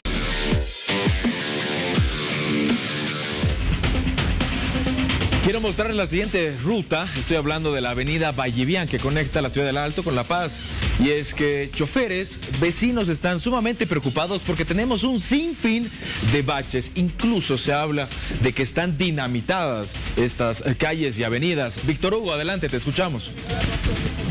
No sé si son calles dinamitadas, si es el Rally Dakar, si es que ha pasado para acá algún atentado en Bagdad. Valga la disculpa, pero lo que están haciendo acá los vehículos es sortear por un lado los baches, todo lo que está dañado en la vía y también he visto dos escolares que se han tropezado al querer cruzar la vía, al querer buscar el transporte y casi terminan en el suelo con todo y uniforme limpio de lunes. Imagínate lo que se está viviendo aquí, Paul. Y es que hay una mezcla de asfalto, hay eh, pavimento rígido, este cemento, también hay estas enlosetados. Y es que es una mezcla de todo lo que se vive acá. Y es la ciudad del Alto, es la rotonda Vallivian, conexión con la avenida Collasuyo que desciende hacia la ciudad de La Paz. Unos dirán, ¿es tuición del Alto? Sí, lo es. Claramente, mira cómo los escolares están sorteando todo ese lugar lleno de barro, de charcos. Pero en La Paz también se da esta misma situación y te lo voy a ir mostrando. Señora, ¿mucho bache por acá? Sí, mucho. No hay caso caminar aquí. Quisiera que lo arreglen, por favor. ¿Vehículos también tienen que...? Sí, están bacheando. Mira, están tan mal ahorita. ¿Ustedes correteando Sí, sí, estamos en medio. No hay ni siquiera señal. No, no, no hay, pues, sí, es peligroso también hasta cruzar. ¿Un lugar tan céntrico? Sí, es lugar céntrico y lleno y no hay, mira, ni... No hay... Gracias, señora, no le voy a quitar más tiempo. Están ajetreados ellos yendo a la escuela. Pero ahí está, se han prestado para darnos ese testimonio. Eso ocurre en el Alto Paul y lo que vamos a hacer es subirnos al vehículo rápidamente. Me pongo el cinturón de seguridad, dame un segundo. Claro. Pero esto también ocurre en La Paz. Mira, lo que te he ido mostrando era Ciudad del Alto. Ahora vamos a ingresar hacia lo que puede corresponder hacia lo que es La Paz. Y mira también los baches que tenemos acá. Víctor, eh, no solamente este campo minado, sino también el tema de la señalización es lo que hace falta. Bueno, hace falta de todo. Señalización, semaforización, también una buena pista, eh, la, calle que esté en condiciones, lo propio que va a ocurrir con las aceras. Mira, mira. todo este lugar está lleno de escolares, de gente que se está trasladando, que está contrarreloj también, un poco apurados. Y lo que tienen que hacer los mismos transportistas, mira, los vehículos están empezando a sortear, van de izquierda a derecha, para cuidar seguramente el vehículo, también para no entrar en este tipo de eh, eh, huecos, hoyos, baches. Mira a la izquierda. Ahí está, muy bien, lo vemos. Es eh, realmente preocupante. Mira los vehículos, cómo se sacuden. Sí. Además es un carril de bajada que el auto ya de por sí sufre mucho estrés, ¿no? Esto ojalá no ocasione algún tipo de accidente, Víctor. Bueno, es que se exige al vehículo, se exige también al conductor. Se va dañando las partes del motorizado. Acá eh, exigimos al freno y como estamos en pendiente, fácilmente se puede calentar el, freno y luego vienen los accidentes. Y, es un problema que estamos viendo interciudad. Te he mostrado lo que ocurría en el Alto, un pantallazo muy rápido y ahora lo que está ocurriendo en La Paz. Entonces, ambas ciudades en un punto de conexión tan estratégico para los ciudadanos, y motorizados eh, que tengan estos problemas es llamativo. Muy bien. Se me viene a la cabeza, Paul, nada más para... Bueno, vamos a retomar el contacto más adelante y es que estuvimos viendo, o pre- estuvimos en presencia en realidad del campo minado que tenemos en la avenida Vallivian. Más adelante le estaremos explicando qué otros puntos de la ciudad más tenemos así, como lo estamos viendo en imágenes, con muchos, con un sinfín de baches. Si usted eh, quiere hacer algún reclamo, nos puede escribir a nuestro número de reporteros al día al 767-085-85.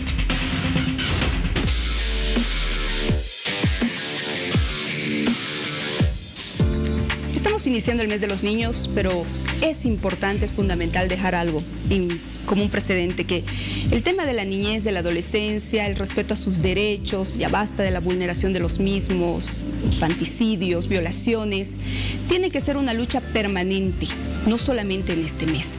Pero hoy vamos a hablar en específico acerca de un anteproyecto de ley de protección reforzada para los más vulnerables, los denominan así, ¿no es cierto? Los pequeñitos, las pequeñitas, los adolescentes, las adolescentes. Estamos con la viceministra de Igualdad de Oportunidades, Nadia Cruz, para hablar acerca de este tema importante, que esperemos, viceministra, ahora tenga resultados en el legislativo y no se quede la ley paralizada. Bienvenida. Muchas gracias, Vania. Importante el mensaje para nuestros legisladores, justamente en el mes de las niñas, niños y adolescentes en nuestro país. Importante porque el delito de infanticidio cobra importancia considerando que desde el 2014, que es el momento en que se inicia su tipificación, a la fecha se han registrado 487 infanticidios. En el caso de violencia sexual son más de 34.400 víctimas de violencia sexual, dentro de las cuales se están incluyendo niñas, niños y adolescentes en nuestro país. Es decir, que en ese momento la familia, la sociedad, la comunidad se está generando, se ha generado, se ha llegado a convertir en un sujeto, en, en un espacio de vulnerabilidad para nuestra población de niñez y adolescencia. Y para ello, tomando en cuenta esta información, tomando en cuenta la preocupación de muchas familias en nuestro país, nuestro presidente ha definido, primero, endurecer las penas. Es decir, crearemos más agravantes cuando las personas quienes perpetran estos delitos son personas de confianza de nuestra población de niñez y adolescencia. Generaremos más tipificación de delitos en el marco de lo que nos está pidiendo la propia Corte Interamericana de Derechos Humanos y además estableceremos otros mecanismos por los cuales o para los cuales la población de niñez y adolescencia, en especial las víctimas de violencia sexual, puedan acudir indefinidamente en el momento en que puedan levantar su voz y denunciar a sus victimarios. Esta- estos agravantes a los que usted hace referencia, por ejemplo, ¿cuáles? Por ejemplo, se va, se, se- identificar que cuando las- los perpetradores sean del entorno de educación, por ejemplo, sean en el ámbito educativo, donde sabemos que es el segundo hogar de nuestras niñas, niños y adolescentes. O, por ejemplo, cuando pertenezcan a una orden religiosa, por igual el tipo de confianza eh, que se, que donde se encuentra en nuestra población de niñez y adolescencia. Y otras similares que básicamente estamos procurando identificar donde esa niña, niño o adolescente tenga una situación de dependencia o de poder aminorada respecto a un adulto. En esos casos, cuando los adultos se aprovechen de esa situación de confianza, las penas van a ser agravadas, evidentemente de acuerdo a lo que vaya a señalar el juez. Por otro lado, se ha creado un tipo penal específico y aquí hay que decirlo, Baña, con, con, yo digo, con un señalamiento hacia, las, hacia nuestra sociedad. El lugar más eh, de mayor vulnerabilidad para nuestras niñas, niños y adolescentes en casos de violencia sexual, en este caso, son los hogares. Eso es grave, porque el Eso es hogar se supone que es para que estés seguro, para que tu hijo esté a salvo. Para que tú lo protejas, para que en ese espacio no le pase absolutamente nada, estén resguardados sus derechos. Pero violencia sexual lastimosamente están ocurriendo en los hogares y eso desde la pandemia se ha visibilizado en extremo. Y la, la- una de las primeras medidas que el gobierno nacional está tomando es tipificar la violencia incestuosa. Dejemos de naturalizar que son las hijas o los hijos quienes van a suplir a las parejas, en este caso generalmente a las madres que han fallecido o que se han ido de la casa u otros. Tenemos que desmontar toda esa naturalización de violencia sexual que lastimosamente está muy permeable en, la, en nuestra sociedad. Hay otro dato que, preocupa y alarma y que a veces no se entiende, ¿no? ¿Cómo es que un delito tan grave o delitos tan graves contra nuestros niños, niñas, prescriben? Y eso es lo que busca esta norma, ¿no es cierto? Evitar ello. Sí. Hay una regla de seguridad, un principio de seguridad jurídica y las reglas del debido proceso que limitan también el accionar del Estado a momento de generar persecución e imponer sanciones. Eso como una regla general se lo entiende y está bien porque hay que limitar también los poderes del Estado. Sin embargo, cuando hablamos acá, no se está hablando, no se está limitando el poder del Estado, sino se está cerrando las puertas a estas guaguas que en su momento fueron víctimas de violencia, que no lo identificaron, que lo callaron, que saben que sus agresores tienen una dualidad, o sea, es el hombre perverso que los agrede sexualmente, pero por otro lado es el padre de familia, que es amorosamente el que cuida, o sea, es yo te digo, el delito de violencia sexual es ver dos personas en un solo victimario y eso a las, a las niñas, niños y adolescentes realmente los confunde.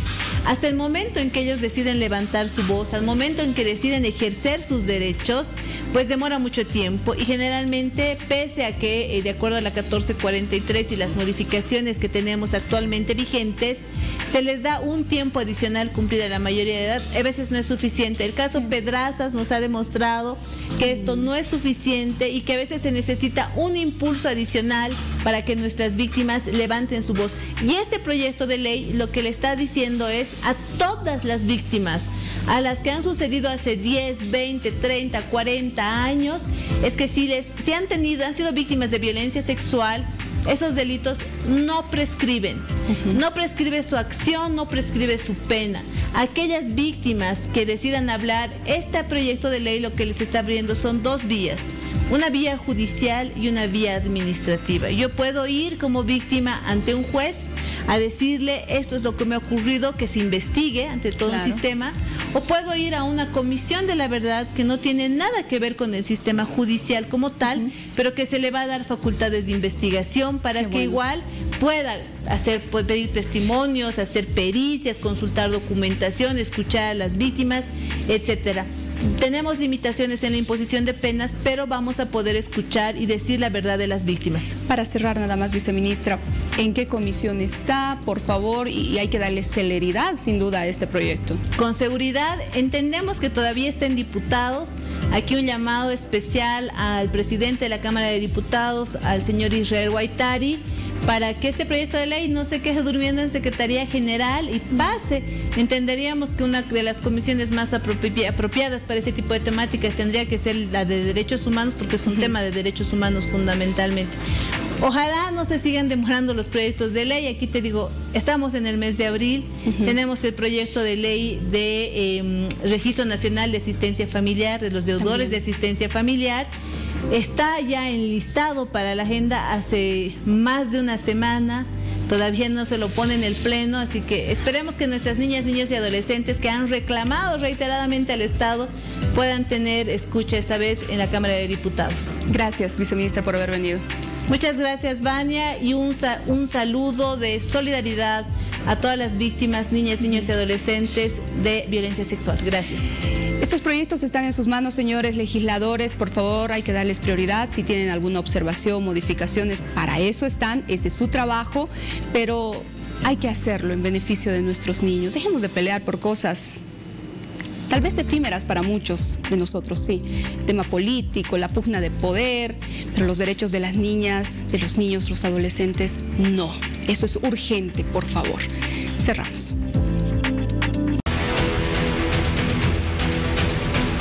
Vamos de inmediato a nuestra unidad móvil, calle Bueno, final calle Bueno, estamos con John Guzmán.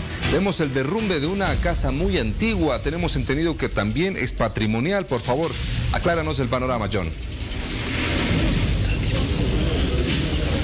Año tras año, año tras año hemos, ido haciendo cobertura, Gerardo, sobre este inmueble que la alcaldía municipal venía y colocaba algún tipo de troncos para evitar que esta casa esté en el estado en que tú estás observando ahora. Y es precisamente lo que hace mm, la alcaldía, es simplemente colocar algún tipo de defensivos y que se evite la total caída de esta infraestructura. Pero hoy, en definitiva, ya los muros han cedido totalmente con las lluvias que también, por supuesto, eh, hemos tenido durante las últimas semanas y estamos con su propietario. Y la consulta es, ¿qué pasó con este inmueble? Que ya tenía y causaba peligro y zozobra entre la misma vecindad e incluso para ustedes. Sí, evidentemente, nosotros veníamos, veníamos haciendo gestiones para refacción de la vivienda desde el año 2012 y se nos ha ido postergando, postergando y eh, bueno, hemos llegado a esta situación de los colapsos. Inicialmente eh, eh, hemos pedido que se nos pues, autorice ciertos cambios de cubierta, etcétera, pero no nos daban la autorización respectiva.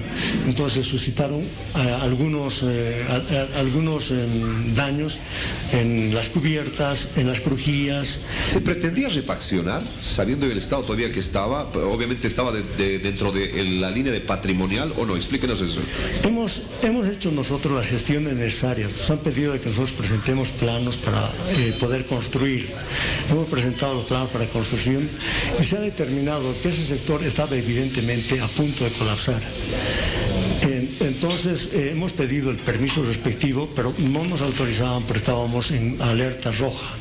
Entonces al estar en alerta roja no se puede hacer ese tipo de trabajos. ¿Durante 12 años? No, recién digamos el año pasado. El año pasado estamos hablando. ¿no? Bueno, ahora, ¿qué se va a hacer? ¿Se va a tener que demoler todo este lugar? Eh, este lugar prácticamente está colapsado, entonces vamos a retirar todo lo que corresponda y posteriormente, de acuerdo a los planos que tenemos, se hará la reposición de todo lo que era patrimonial. Perfecto. Vamos a mostrarte otro sector, Gerardo, porque no solamente ha sido esto. No solamente es este inmueble, sino que la caída de estos muros ha ocasionado de que postes que estaban en el lugar, pues que tienen servicios de internet, TV cable y además de energía eléctrica, pueda caer. Y mira la situación en la que han quedado estos otros, estos otros domicilios, donde los vecinos también reclaman por la falta de atención oportuna a este inmueble. Así han quedado todos estos postes.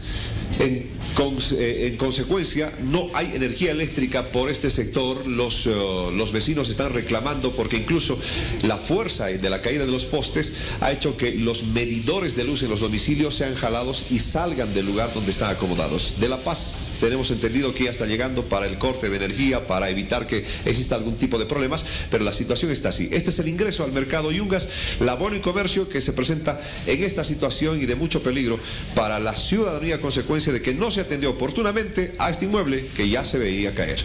Johnny, ¿qué sucede con las viviendas aledañas, las que están precisamente eh, pegadas a esta vivienda que ha caído? ¿No, se han, ¿No han sufrido daños? ¿No hay riesgo de que también caigan? Esa es la evaluación que van a hacer precisamente la gente de bomberos, la gente seguramente de emergencias. Se están haciendo evaluaciones, perdón, buen día, todavía, ¿no? Sí, vamos a ver. Bueno, la gente de bomberos no quiere hablar, pero sí, se están haciendo evaluaciones con las infraestructuras que están aledañas y además no solamente aledañas, eh, Gerardo, porque incluso de esa infraestructura que tú acabas de ver, hay, en su interior hay todavía gente que vive. Entonces, no es toda la infraestructura que ha caído, pero sí es toda la infraestructura que está en riesgo por la antigüedad, por el mismo, eh, por la misma construcción porque es netamente de adobe y que ha sido remojado toda la estructura, pero los vecinos dicen, seguimos viviendo, tenemos eh, el peligro, tenemos la susceptibilidad de que esto se vaya cayendo, pero no hacen absolutamente nada para solucionar. Y tú has escuchado, son 12 años que ya han pasado para tratar de solucionar y no ha cambiado absolutamente nada. Imagínate, 12 años esperando recibir estas autorizaciones. Eh, finalmente ocurrió lo que se temía, se cayó la vivienda, eh, provocando este daño. Ahí estamos viendo lo que ha sucedido con los postes de alta tensión o de energía eléctrica y diferentes servicios. No hay energía en el barrio en este momento. Bomberos están trabajando en el lugar. Eh, eh, adelante, John, adelante, estás ingresando. Sí, estamos eh, hablando con los vecinos. Ustedes viven allá, acá tienen obviamente una infraestructura aledaña a lo que se ha caído. ¿Qué piensan ustedes? ¿Qué van a hacer? Por el momento no sé, no, no, no estoy bien informado lo que está. Yo recién llegué acá. Bueno, tendrían que evacuar. En algún caso les han dicho por la caída de toda esta infraestructura, ¿tiene algún temor? No, no.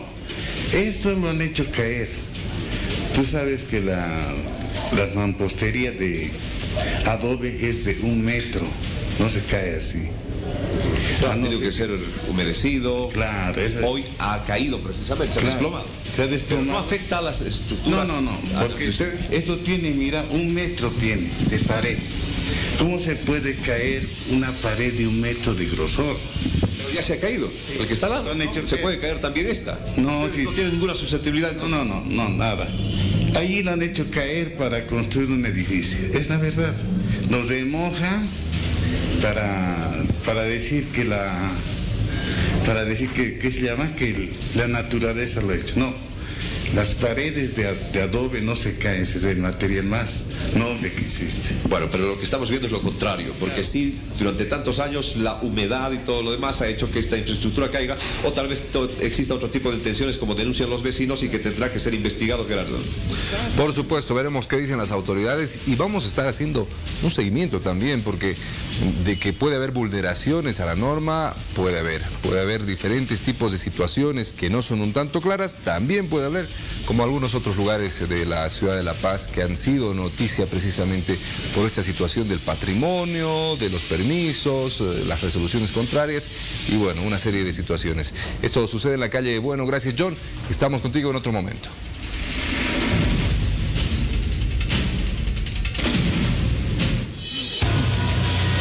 Les quiero preguntar a mis compañeros, a ver a Gerardo, a Paul, ¿alguna vez compraron entrada de revendedor para ver un partido de fútbol? sí, sí, o, o para ir a un concierto, algo así? Sí, ¿Lo compraron? sí. Alguna vez sí, cuando Eh, llegábamos tarde. por Exacto, llegas un poquito tarde o por un tema de comodidad, no pudiste ingresar a la página, uy, te daba flojera hacer cola para poder comprar tu entrada, entonces llegabas al estadio y compras de revendedor. Los revendedores que mucha gente dice, estos son unos abusivos, tan caros, pero, otros también les agradecen, ¿no? Porque les dan esa comodidad de, aquí está la entrada, vas a pagar 5, 10 o algo más. ¿No? Les vamos a preguntar, acá estamos con nuestros revendedores, porque vienen las copas internacionales. Este mañana juega el Tigre, juega el Bolívar, el Oves, en fin. David está con nosotros, Jenny David Gutiérrez, estamos con... eh, Esta es la asociación, permita ver el credencial, Asociación de Vendedores de Entradas en Espectáculos Públicos y otros. David, buenos días, bienvenido. Buen día, bienvenido, gracias. Bien, estamos acá para hablar, mire usted las entradas que les ha quedado. ¿Estas entradas les sobran a ustedes? ¿Qué hacen? ¿Devuelven al equipo? No, no, no, no, de ninguna manera. ¿No? te Es volvemos. una pérdida Es ya una pérdida. nosotros. Eh, ya una vez empezando, digamos, cinco en punto el partido no podemos vender, entonces ya es pérdida, no nos devuelve ningún club, ni concierto, ni teatro. Nada. Nada, nada. A ver, si una entrada te cuesta un dólar, vo- voy a ver. Mm, por acá dice, Curva Norte para el partido Always Ready, 10 Strongers. Esta es una, te cuesta 25, esta, esta, 10 Strongers Bolívar del clásico. 80 bolivianos. Ustedes la compran en físico, ¿y a cuánto la venden? La verdad. Eh, según, no, según el movimiento de gente. Ya. O sea, puede ser a 85 primeramente, viene más, eh, un poquito más de gente, Hay más 90, demanda. más demanda, hasta podemos subir a 100 bolivianos. Hasta puede subir a 100 bolivianos. ¿Cómo? Podemos vender también a menos precio. De lo que cuesta 80, podemos vender a 70, podemos llevar a 50 o ya no vendemos. Porque muchas veces llegaba al estadio y me decía, al mismo precio o menos. A menos Yo decía, dentro de mí, ¿y, y de, y de qué ganan? De, Claro. decía, ¿no? A veces pasa eso, ¿no? Esa es la pérdida que llevan, ese es el riesgo, el riesgo de este negocio. Ahora, por ejemplo, ustedes también compran entradas vía online. Sí. Y hacen imprimir. Pero yo, en este momento la gente está sacando una foto a la pantalla. Un ejemplo, si esta entrada fuera, fuera, fuera válida, pero ya no es, era del partido Bolívar Wisterman. Y el cuero lo puede escanear cualquiera. Cualquiera. Entonces existe susceptibilidad de parte del, del, del hincha, ¿no? Claro, claro. O sea, el problema es que esta entrada nos pueden comprar eh, personas malentretenidas eh, que pueden ser Claro. fotocopiar. Te entiendo, David. Yo te compro una y hago fotocopiar y vendo 100. Puede vender mil entradas de estas. Claro. Claro, el problema es que, que son mal vistos los revendedores, no la persona que está vendiendo. ¿Qué garantía ofrecen ustedes como revendedores? Eh, bueno, nosotros primeramente, eh, como asociación, eh, hemos hablado con nuestros compañeros, nos reunimos, hicimos esos credenciales. ¿De qué más van a estar acreditados? Todos acreditados, todos los revendedores, absolutamente todos acreditados y que la gente no tenga, no tenga, que tenga mucha confianza en comprarnos, porque estos credenciales que ustedes ven aquí, señores televidentes, llevan un QR, el nombre y número de, de ¿Puedo, registro. ¿Puedo escanear el QR? Sí, ¿por qué no? Ya, muy bien. Ahí nomás, préstamelo por favor. Lo voy a escanear. David Gutiérrez Orellana con cara de identidad 43 ta ta ta ta ta. Compra segura, entrada segura. Tienes un número, código Más siquiera te puedo sacar una foto. Que Claro, está vendiendo se entradas. puede sacar fotos, Nadie no hay ningún problema. Nadie se va a enojar, ¿por qué? Porque están vendiendo y, y que nada tiene, nada teme. Correcto. Y otra cosita más, eh, por favor, la gente que confía en nosotros, nada más sobre eso queremos sobre. Y también no nos oponemos al, al Club de Stronger de Bolívar que tengan, que venden entradas online, nada. No, lo que pueden hacer, pueden vender entradas físicas o entradas online, no hay ningún problema. Jenny, ¿cuántas entradas le venden por el, el club? O ahora se han puesto muy eh, a regañadientes, no, solo te voy a dar dos, cinco entradas nada más, o les dan No, de a el diez club ya pone un límite de entradas que es tres hasta cinco entradas por persona. por persona. Entonces nosotros ya no tenemos el problema que vendan, que nos pongan un límite, porque nosotros ya sabemos, digamos, la posibilidad de comprar las entradas. O sea, eso sería cinco. Sí, ahorita por el problema que más estamos vi- viniendo, por el último, últimos partidos que ha habido, ha habido mucha gente afuera por el problema de, de los, lo de los papeles, que lo han escaneado y otros lo han fotocopiado y lo han ido a hacer copiar. Entonces la gente siempre, nosotros somos vis- mal vistos, ¿no? porque dicen los revendedores nos venden entradas falsificadas. Entonces por eso estamos, nosotros somos los malos. Por eso estamos viniendo por el motivo, como ya están partidos ya eh, Copa Sudamericana y Copa Libertadores. Libertadores, para que vengan y compren con el credencial. Compra segura, entrada segura. Todos vamos a aportar todos el van a tener credencial. ese credencial y todos, puedes todos. escanear el QR Pueden escanear, el público puede escanear y verifica el nombre. Y ya, pues, como dicen la- en el credencial, compra segura, entrada segura. Y Entonces, pedirles a todos que confíen en nosotros. Claro, y me, me, me anoto el número de, de entrada también que me estás vendiendo, te puedo sacar una foto si es que hay algún reclamo. nadie- no, no, nadie se Porque yo te compro esta entrada y yo te digo, David, un ratito, acompáñame hasta la puerta, si entro, bien, te pago, si no, no, ¿no? eso Porque no te voy a comprar una entrada aquí en la, en la avenida Camacho y luego no me dejan entrar, ¿dónde Sí, está eso el, el revendedor? Eso es, lógico, eso es lógico, ¿no? Por ejemplo, o sea, por eso más que toda la gente, por favor, conviene a nosotros, cada persona que tenga credencial, por favor, acreditados, cómprenle, que no pueden sacarle foto, pueden escanear el, QR, el código QR, no hay ningún problema. ¿Cuántos son ustedes? Eh, casi más, más de 200. 200. Es una asociación. Sí, sí, sí, más de Sí, 200 organizada. personas. Que la, que la gente entienda de que este eh, es una comodidad que se brinda al aficionado, paga 5 o 10 bolivianos más. Si tienes suerte, compras al mismo precio. O si tienes más suerte, compras incluso a menor precio y puedes entrar a ver eh, el espectáculo. Pero con la garantía que ellos ofrecen para que dejen de verse como los malos de la película. Obviamente que van a subir un poco el monto de, de dinero. Ya de usted depende si paga o no. De algo también tienen que... Si compra o no, también. Si compra o no, Es también la oferta claro. y la demanda. ¿no? Nadie le obliga. Nadie lo obliga, claro. ¿no? Si quieren Yo veo un revendedor, usted me ofrece, gracias, muy amable, ¿cuántas veces? No, gracias, muy amable, voy y hago mi, mi fila, pues. Y si entro tarde al partido para hacer cola, quien. ¿no? Claro. Bueno, esto es lo más importante. Más importante. La Asociación de Vendedores de Entradas en Espectáculos Públicos y otros, escanee el QR para poder tener la garantía de que le han venido una entrada segura. ¿Cómo es, ¿Cuál es el lema? En, eh, compra segura, entrada segura. Compra segura, entrada segura. Gracias David, Jenny, a todas ustedes. Éxitos, se vienen muchos partidos internacionales eh, y espero que les vaya bien les vaya bien a todos naturalmente, ¿no? Y todos ganemos. El efecto multiplicador que tiene el fútbol. La del choripán, la del anticucho, la de la gaseosa, los que revenden entradas, los periodistas, todos nos beneficiamos con el fútbol. Así que vivamos la fiesta como debe ser. Ver, te pregunto, ¿tú estás eh, tranquilo, estás feliz, estás eh, en paz con tu niño interior? Qué buena pregunta. Eh, creo que lo estoy encontrando de nuevo y creo que estoy recién como que disfrutando la vida y mi presente. ¿Qué le dirías al, al niño Paul? Ah, que se siga equivocando. ¿Sí? Sí, está bien. No hagas eso, ¿no le dirías? Por favor, te va a ir como en feria, ¿no? Bueno, sí, que no se queme, que no sea un par de averías, puede ser. Pero no, Vanita, ¿sabes qué? Eh, a veces estamos muy preocupados. Sí, es cierto. eh, muy estresados. Y está bueno reír, está bueno sonreír, hacer un poco de travesuras igual y reencontrarse, como dices, con Con- tu niño interior. ¿Cómo va tu ¿Verdad? niña interior? Bien, bien, y le, le diría algunas cosas que no tienes que hacer. Por ¿Cómo favor. No, no, no, no las puedo decir al aire. ya está bien. Pero sí, yo creo que cada uno tiene que reencontrarse. ¿Qué dice la gente? ¿Qué opina? Eso, eh, salimos a las calles de nuestra ciudad, e hicimos la misma pregunta. Y a ver, atención en casita porque esto dijeron. Arrancamos el mes del niño. ¿Qué querías ser cuando seas grande? Eh, piloto de avión quería ser. Músico, es lo que me- siempre me gustó. ¿Y logró su sueño? Sí, claro que sí, logré mi sueño. ¿Usted diría que cumplió su sueño? Me falta aún todavía. Una buena Madre, esposa. A, desarrollar eh, autos. No sé, quería hacer muchas cosas. ¿Qué quieres ser cuando seas grande? Policía. Ayudaría más a la gente que está en peligro, digamos, de ser un asalto. Veterinaria, porque me gustan los animales. Policía, porque quiero ayudar a la gente. Doctor, eh, porque me gusta ayudar a la gente. Policía, Policía. ¿Y por qué policía? porque puedo estar a los ladrones. ¿Cómo se lleva con su niño interior? Bien, satisfecho, en paz. Hacen travesuras de vez en cuando, se divierten. Siempre viajando, haciendo aventuras, de acuerdo a la edad, sí.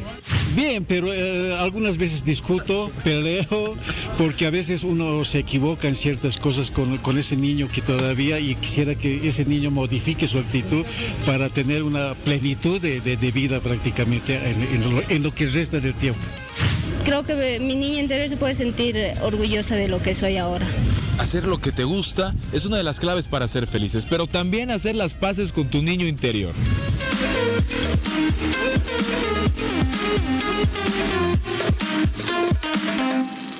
Qué lindas respuestas. Me encantan los niños. ¿No? Son tan inocentes, tan bonitos, ¿no? Quieren proteger al mundo, a, a la población, ¿no?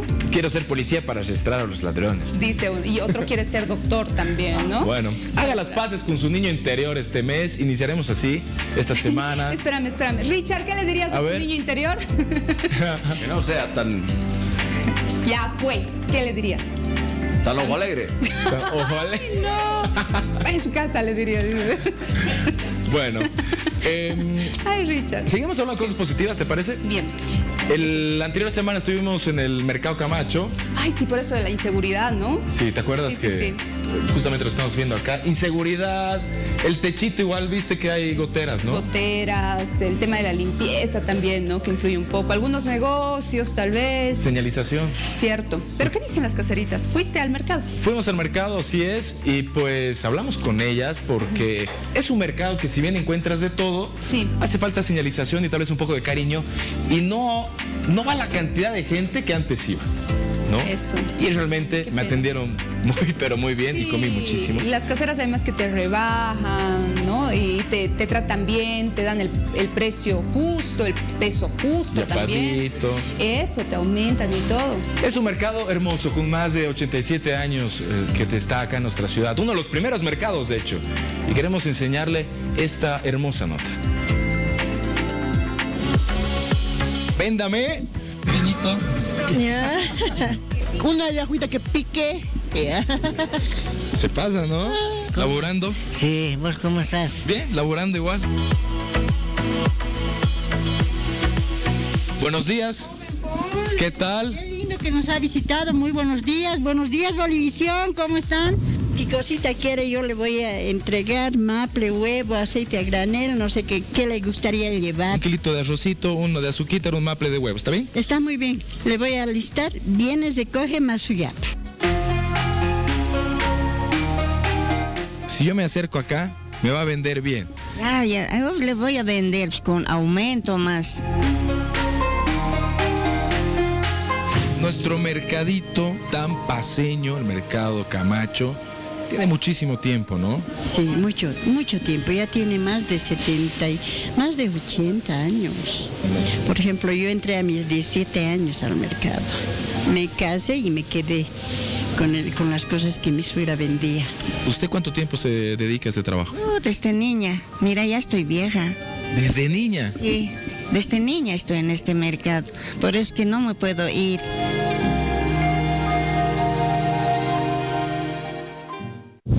Nos pasearemos. Este es mi puestito. ¿Este es tu puestito? Sí, este también. Ah, qué es mío bueno. y es mío. Oye, qué lindo que atiendan así a la gente, ¿no? Se perdió un poquito esa chispa. Sí, realmente se ha perdido esa chispa, como usted lo dice, pero estamos dispuestos a tenerles bien, con yapita, Con una sonrisa. una sonrisa de oreja a oreja, caserito. Vinito, ¿eh? Hay vinito también, sí. Rico. Riquito. Riquito.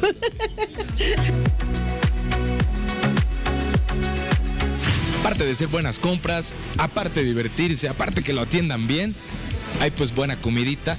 tempranito en la mañana. Podemos hacer las compras y venirse a comer algo, ¿no? O, de- o escaparse del trabajo también. Sí, una escapadita siempre les vamos a esperar aquí cuando gusten.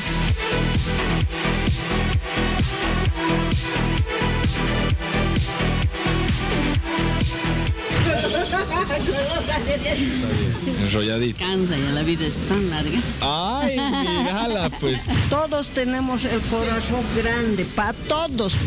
Muchísimas gracias, joven Pichicas. Pichicas, ¿no? Estamos aquí en el Mercado Camacho, eh, debajo de la plaza. Le mando un beso a toda la ciudadanía. Vengan, caseritos. Aquí estamos esperando. ¡Los esperamos en el Mercado Camacho! Gracias.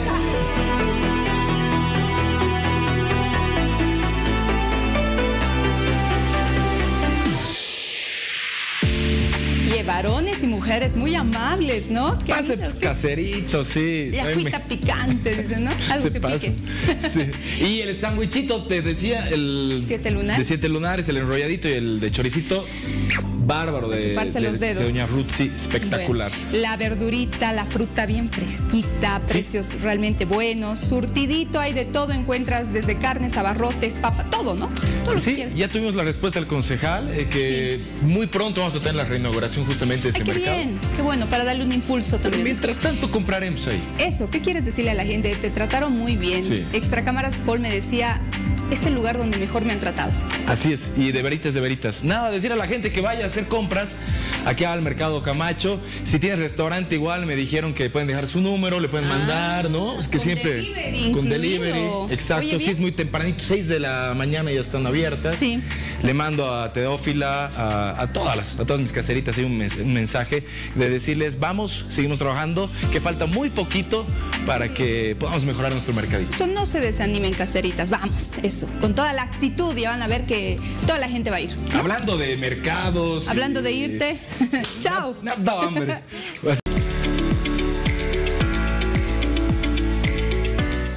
Su consulta no molesta. Saludamos a nuestra querida Natalie Zúñiga para seguir aclarando algunos aspectos de casos muy comunes que vamos viendo y que queremos que tú ayudes a la gente a aclararlos. Bienvenida.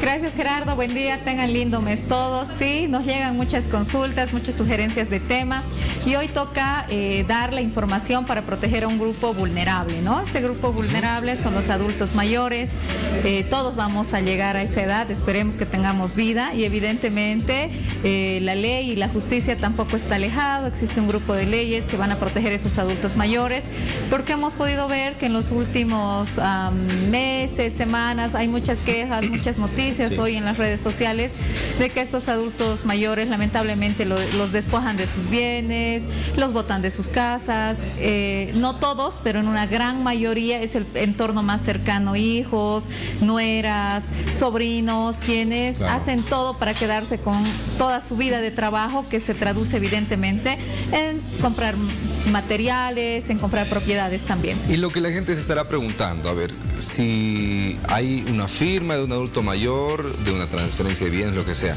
eh, o, un documento que precisamente los despoje de esos bienes, pero que ese documento ha sido firmado en ganándose la confianza del adulto mayor, aprovechando un estado de salud quizás, pero legalmente ahí está el papel. ¿Se puede hacer algo para revertir aquello?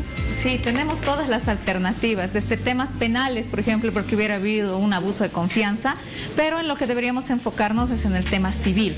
A ver, la voluntad es un elemento fundamental de cualquier acto o negocio jurídico, que significa que yo tengo conciencia plena de lo que estoy haciendo y cómo lo manifiesto a través de una firma.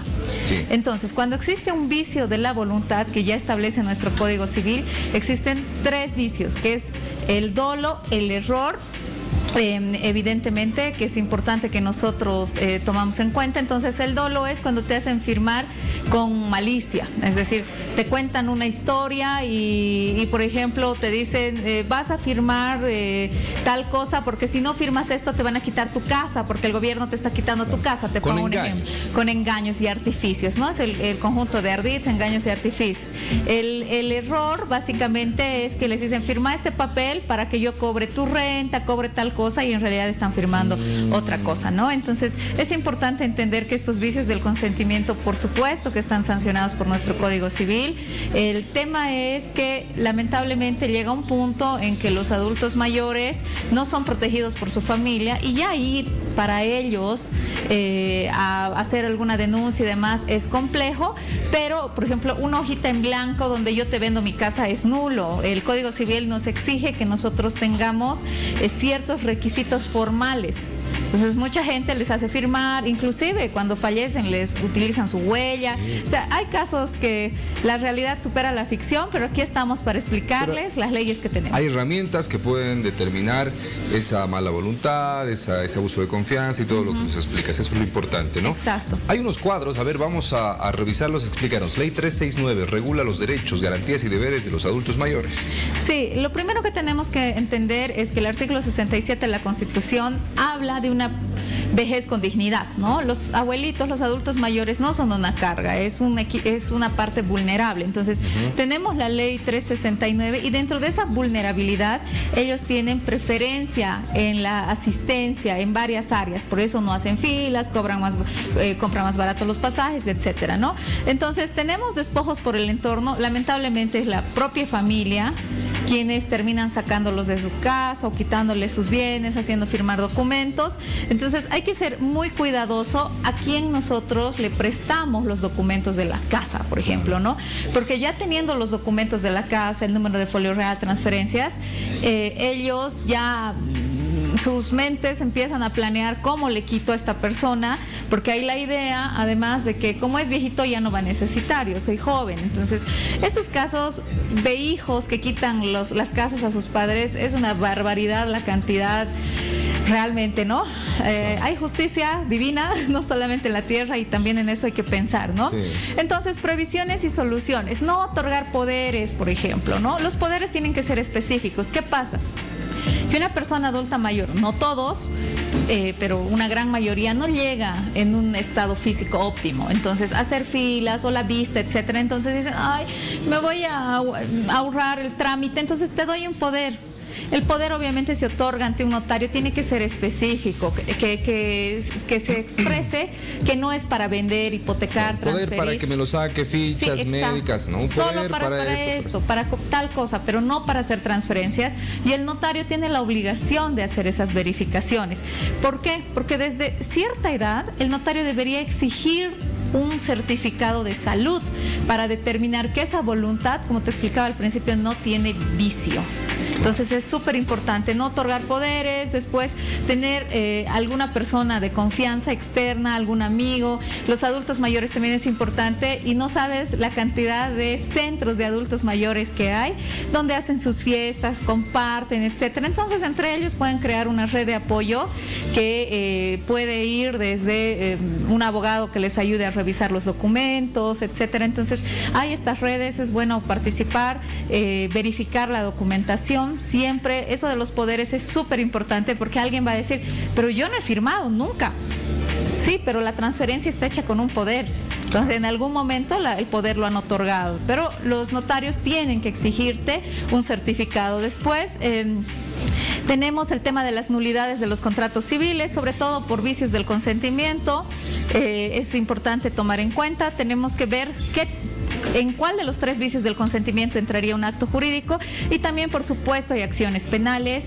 Los adultos mayores, si bien tienen una ley especial, también están protegidos por la ley 348, porque la ley 348 establece que cuando existe tipo de, de violencia alrededor de tu familia, se Claro. puede tipificar como violencia económica. Ahora la ley del adulto mayor habla de la agresión económica. Entonces, eh, atentar contra el patrimonio de un adulto mayor realmente es vergonzoso, es bochornoso, pero lamentablemente es el pan de cada día. Entonces, a nuestros adultos mayores generen estos círculos de confianza. Algunas veces no es la familia, puede ser otro grupo de adultos mayores donde te puedas asesorar y ahí además cada uno te cuenta su propia historia y te dice a mí me han quitado de mi casa de tal manera, entonces ya con la experiencia uno ya sabe qué es lo que no tiene que hacer. Aunque te- nadie te puede obligar a firmar absolutamente nada, no firmar hojas en blanco, no dejar huellas, para nada. Claro, Y tengan en cuenta que eso de no vas a hacer fila, nada, tienen preferencia. Entonces, eh, si van a alguna institución, van a, no van a hacer fila, van a tener preferencia, no necesitan otorgar un poder para que alguien vaya al banco, por ejemplo, a, a sacar sus cuentas. Claro. Tampoco entreguen sus tarjetas, eso es algo común. De hijito, yo no veo, eh, por favor, tú ten Sí, la tarjetita. En, en el círculo de confianza que piensan que no va a pasar nada, pero a veces, o casi siempre el círculo de confianza ¿no? es sí, Sí. es quien empieza todo esto. Es bueno saber que se puede remediar, que se puede hacer algo. Gracias, Natalie. Y quienes quieran entrar más en el tema o tienen un caso quizás de este tipo, comuníquese con Natalie a través de sus redes sociales, el teléfono o acá en el Shopping Sofer. En el piso Oh, perdón, 10. Shopping Norte, yo estoy en Cochabamba. Este- Estás en Cocha todavía. No, síganme en mis redes, estoy como doctora Zúñiga en Facebook y como Zúñiga Abogada en TikTok. Vamos a hacer complementaciones del tema. Y nada, cuiden a sus papás, cuiden a su, su entorno. Todos vamos a llegar a Exacto. viejitos. Esperemos que no pase nada antes de que lleguemos a viejitos. Así que ojo por ojo, diente por diente es la vida. Así y la es. vida es un restaurante, nadie se va sin pagar la cuenta. Así que hay que ver bien que- Así es. cómo actuamos con el resto. Disfruten a sus adultos mayores. El dinero, los bienes van y vienen. Hay que disfrutar cada momento con los seres queridos.